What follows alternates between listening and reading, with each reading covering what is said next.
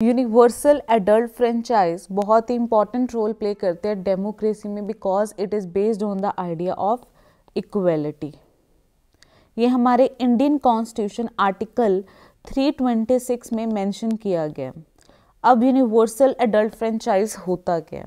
universal adult franchise हमारे जो Indian citizen हैं, उनको वोट करने का राइट देता है in the election of House of the People and Legislative Assembly of every state